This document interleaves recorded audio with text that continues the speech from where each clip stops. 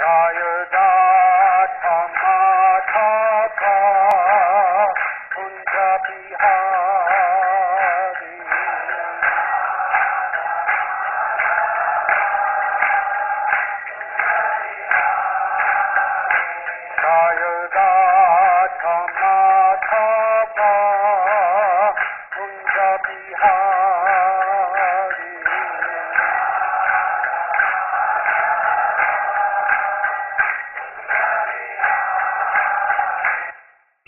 भागवतम दशम स्कंद अध्याय चौवालीस कंसवध सुखदेव गोस्वामी ने कहा, इस तरह संबोधित किए जाने पर कृष्ण ने इस चुनौती को स्वीकार करने का मन बना लिया। उन्होंने चाणूर को और भगवान बलराम ने मुष्टिक को अपना प्रतिद्वंदी चुना। एक दूसरे के हाथों को पकड़कर और एक दूसरे के पांवों को फंसाकर, ये प्रतिद्वंदी विजय की अभिलाषा से बलपूर्वक संघर्ष करने लगे। वे एक दूसरे से मुठियों से मुठिया, घुटनों से घुटने, सिर से सिर तथा छाती से छाती भिड़ाकर प्रहार करने लगे। प्रत्येक कुश्ती लड़ने वाला अपने विपक्षी को खींच कर चक्कर लगवाता, धक्के देकर उसे नीचे गिरा देता, पटक देता और उसके आगे तथा पीछे दौड़ता। एक दूसरे को बलपूर्वक उठाकर ले जाकर धकेल कर तथा पकड़कर कुश्ती लड़ने वाले विजय की महती आकांक्षा से अपने शरीरों को भी चोट पहुँचा बैठते। हे राजन, वहाँ पर उपस्थित सारी स्त्रियों ने बलवान तथा निर्बल के बीच होने वाली इस अनुचित लड़ाई पर विचार करते हुए दया के कारण अत्यधिक चिंता का अनुभव किया। वे अखाड़े के चारों ओर झुंड की झुंड एकत्र हो गई और परस्पर इस तरह बातें करने लगी। स्त्रियों ने कहा, हाय, इस राजसभा के सदस्य यह कितना बड़ा अधर्म कर रहे हैं। जिस तरह राजा बलवान तथा निर्बल के मध्य इस युद्ध को देख रहा है वे भी उसी तरह इसे देखना चाहते हैं। कहा ये वज्र जैसे पुष्ट अंगों वाले तथा शक्तिशाली पर्वतों जैसे शरीर वाले दोनों पेशेवर पहलवान और कहा ये सुकुमार अंगों वाले किशोर अल्प व्यस्त बालक। इस सभा में धर्म का निश्चय ही अतिक्रमण हो चुका है। जहाँ अधर्म पल रहा हो, उस स्थान में एक पल भी नहीं रुकना चाहिए। बुद्धिमान व्यक्ति को चाहिए कि यदि वह जान ले कि किसी सभा के सभासद अनुचित कार्य कर रहे हैं तो वह उस सभा में प्रवेश न करे। और यदि ऐसी सभा में प्रवेश कर लेने पर वह सत्य भाषण करने से चूक जाता है, या मिथ्या भाषण करता है, या अज्ञानता की दुहाई देता है तो वह निश्चित ही पाप का भागी बनता है। अपने शत्रु के चारों ओर उछलते कूदते कृष्ण के कमल मुख को तो जरा देखो। भीषण लड़ाई लड़ने से आए हुए पसीने की बूंदों से ढका यह मुख ओस से आच्छादित कमल जैसा लग रहा है। क्या तुम भगवान बलराम के मुख को नहीं देख रही हो, जो मुष्टिक के प्रति उनके क्रोध के कारण तांबे जैसी लाल लाल आँखों से युक्त है, और जिसकी शोभा उनकी हँसी तथा युद्ध में उनकी तल्लीनता के कारण बढ़ी हुई है? व्रज के भूमि खंड कितने पवित्र हैं। जहाँ आदि भगवान मनुष्य के वेश में विचरण करते हुए अनेक लीलाएँ करते हैं, जो नाना प्रकार की वन मालाओं से अद्भुत ढंग से विभूषित है, एवं जिनके चरण शिव जी तथा देवी रमा द्वारा पूजित हैं। वे बलराम के साथ गाँव में चराते हुए अपनी वंशी बजाते हैं। आखिर गोपियों ने कौन सी तपस्याएँ की होंगी? वे निरंतर अपनी आँखों से कृष्ण के उस रूप का अमृत पान करती हैं, जो लावण्य का सार है। और जिसकी न तो बराबरी हो सकती है, न ही जिससे बढ़कर और कुछ है। वही लावण्य सौंदर्य यश तथा ऐश्वर्य का एकमात्र धाम है। यह स्वयं सिद्ध, नित्य नवीन तथा अत्यंत दुर्लभ है। ब्रज की स्त्रियाँ परम भाग्यशाली हैं, क्योंकि कृष्ण के प्रति पूर्णतया अनुरक्त चित्तों से तथा अश्रुओं से सदैव अवरुद्ध कंठों से वे गोवे दुहते, अनाज कूटते, मक्खन मथते, ईंधन के लिए गोबर एकत्र करते, झूलों पर झूलते, अपने रोते बालकों की देख रेख करते, फर्श पर जल छिड़कते, अपने घरों को बुहारते, इत्यादि के समय निरंतर उनके गुणों का गान करती हैं। अपनी उच्च कृष्ण चेतना के कारण वे समस्त वांछित वस्तुएँ स्वतः प्राप्त कर लेती हैं। प्रातः काल कृष्ण को अपनी गोवों के साथ ब्रज से बाहर जाते या संध्या समय उनके साथ लौटते हुए और अपनी बांसुरी को बजाते हुए जब गोपियाँ सुनती हैं तो उन्हें देखने के लिए वे अपने अपने घरों से तुरंत बाहर निकल आती हैं। मार्ग पर चलते समय उन पर दया पूर्ण दृष्टि डालते हुए उनके हँसी से पूर्ण मुख को देखने में सक्षम होने के लिए उन सबों ने अवश्य ही अनेक पुण्य कर्म किए होंगे। सुखदेव गोस्वामी ने आगे कहा, हे भरत श्रेष्ठ जब स्त्रियाँ इस तरह बोल रही थी तो समस्त योग शक्ति के स्वामी भगवान कृष्ण ने अपने शत्रु को मार डालने का निश्चय कर लिया। दोनों भगवानों पर स्नेह होने के कारण उनके माता पिता देवकी तथा वसुदेव ने जब स्त्रियों के भय पूर्ण वचन सुने तो वे शोक से विहवल हो उठे। वे अपने पुत्रों के बल को न जानने के कारण संतप्त हो गए। भगवान बलराम तथा मुष्टिक ने मल युद्ध की अनेक शैलियों का कुशलता पूर्वक प्रदर्शन करते हुए एक दूसरे से उसी तरह युद्ध किया, जिस तरह कृष्ण तथा उनके प्रतिपक्षी ने किया। भगवान के अंगों से होने वाले कठोर वार चाणूर पर वज्रपात सदृश लग रहे थे, जिससे उसके शरीर के अंग प्रत्यंग चूर हो रहे थे और उसे अधिका अधिक पीड़ा तथा थकान उत्पन्न हो रही थी। क्रुद्ध चाणूर ने भाज की गति से भगवान वासुदेव पर आक्रमण किया। और उनकी छाती पर अपनी दोनों मुठियों घूसों से प्रहार किया। जिस तरह फूल की माला से मारने से हाथी को कुछ भी नहीं होता, उसी तरह असुर के बलशाली वारों से विचलित न होते हुए भगवान कृष्ण ने चाणूर की भुजाओं को पकड़कर कई बार चारों ओर घुमाया। और उसे बड़े वेग से पृथ्वी पर पटक दिया।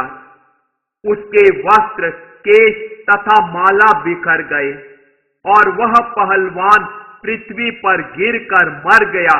मानो कोई विशाल उत्सव स्तंभ गिर पड़ा हो।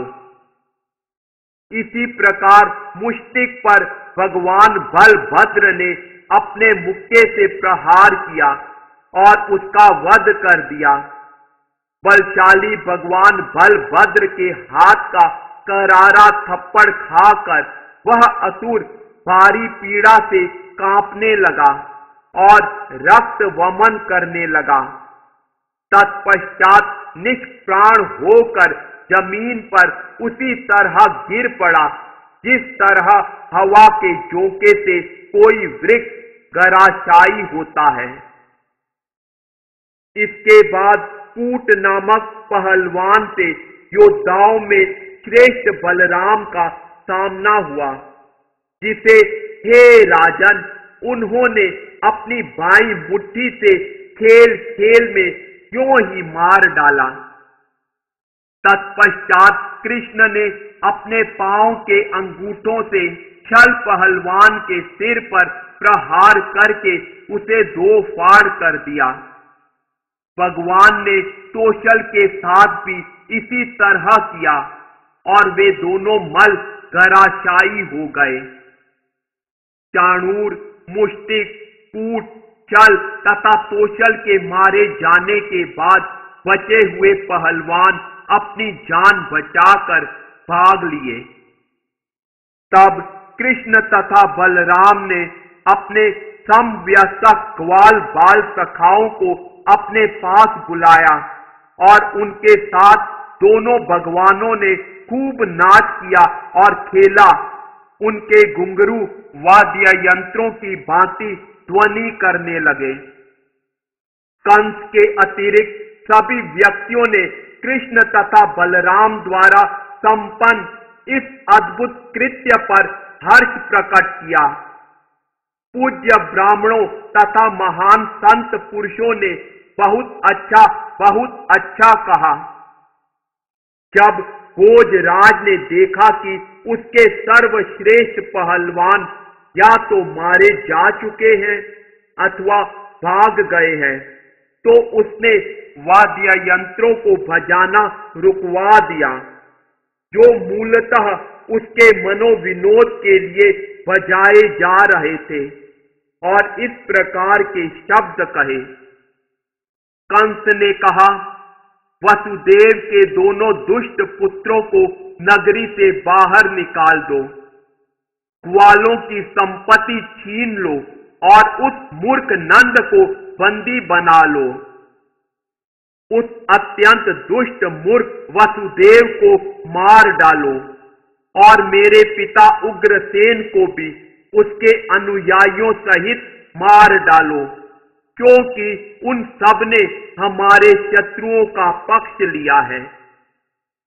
जब कंस इस तरह दम्भ से गरज रहा था तो अच्युत भगवान कृष्ण अत्यंत क्रुद्ध होकर तेज़ी के साथ सरलता से उछलकर ऊँचे राज मंच पर जा पहुँचे। भगवान कृष्ण को साक्षात मृत्यु के समान आते देखकर प्रखर बुद्धि वाला कंस तुरंत अपने आसन से उठ खड़ा हुआ और उसने अपनी तलवार तथा ढाल उठा ली। हाथ में तलवार लिए कंस तेज़ी से एक और से दूसरी ओर भाग रहा था, जिस तरह आकाश में बाज हो। किंतु दुस्सह भयानक शक्ति वाले भगवान कृष्ण ने उस असुर को बलपूर्वक उसी तरह पकड़ लिया।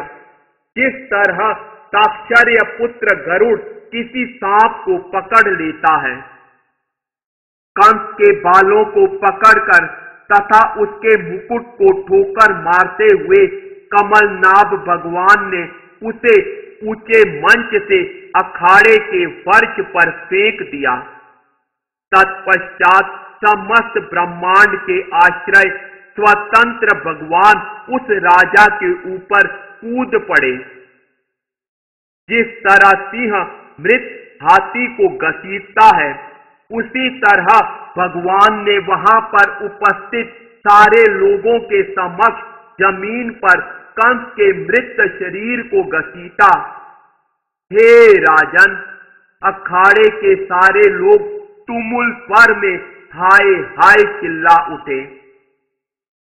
कंस इस विचार से सदैव विचलित रहता था कि भगवान द्वारा उसका वध होने वाला है। अतः वह खाते, पीते, चलते, सोते, यहाँ तक कि सांस लेते समय भी भगवान को अपने समक्ष हाथ में चक्र धारण किए देखा करता था।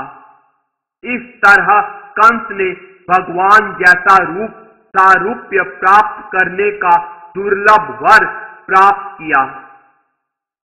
तत्पश्चात कंस नए ग्रोधक इत्यादि कंस के आठ भाइयों ने क्रोध में आकर अपने भाई का बदला लेने के लिए उन दोनों भगवानों पर आक्रमण कर दिया।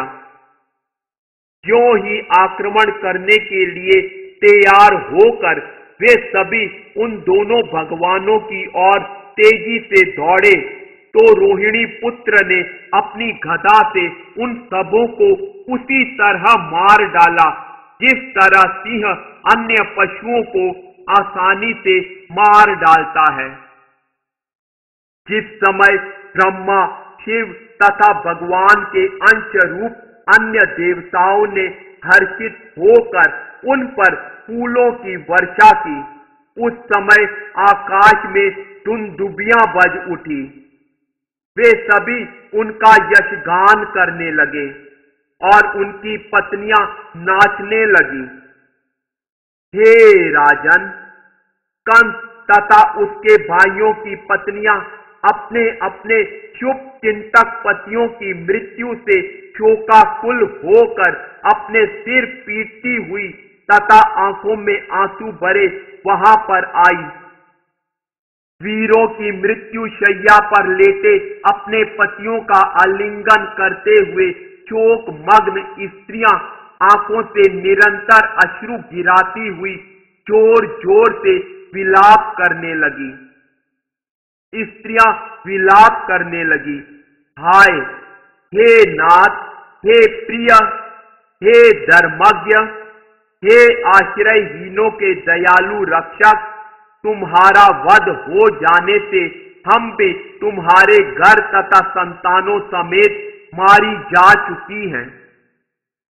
हे पुरुषों में श्रेष्ठ वीर, यह नगरी अपने स्वामी तुमसे बिछुड़कर अपना सौंदर्य उसी प्रकार खो चुकी है, जिस तरह हम खो चुकी हैं।